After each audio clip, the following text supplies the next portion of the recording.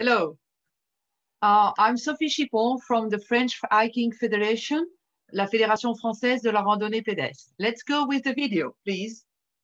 I'm going to talk about a different way of hiking the world.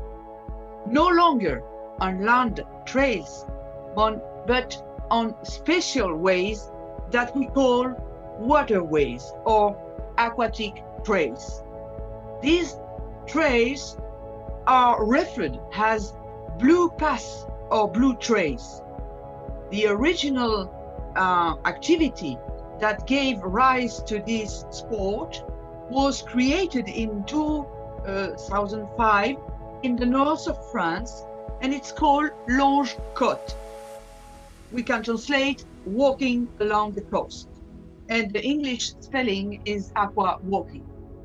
Aqua walking is now practiced in about 11 countries France, Spain, Italy, Germany, Belgium, UK, Greece, Tunisia, Algeria, Emirates, and New Zealand, and is registered in the 12th sport of the Mediterranean Beach Games. I would like to emphasize two important elements for us today. First of all, the coastal pass have always had a specific attractiveness linked to the magic of a hybrid space composed of water and land.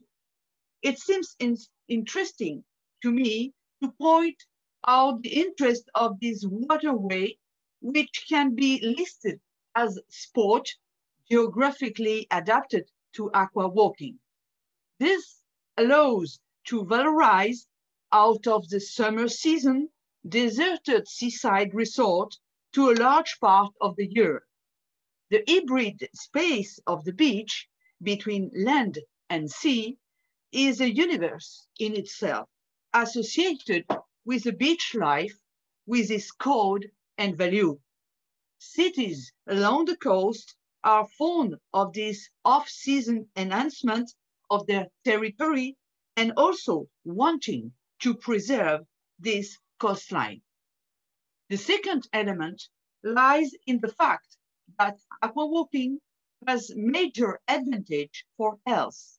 A non-traumatic sport, it has been recognized by scientific and medical studies as a healthy sport. For all these reasons, European Ramblers Association has created in, in 2019 an aquawalking steering committee to manage the development of the sport in a coordinated way within sport federation. Thanks for listening. I'm at your disposal to answer all your questions. And now let's listen to Shino Sesuda from Japan.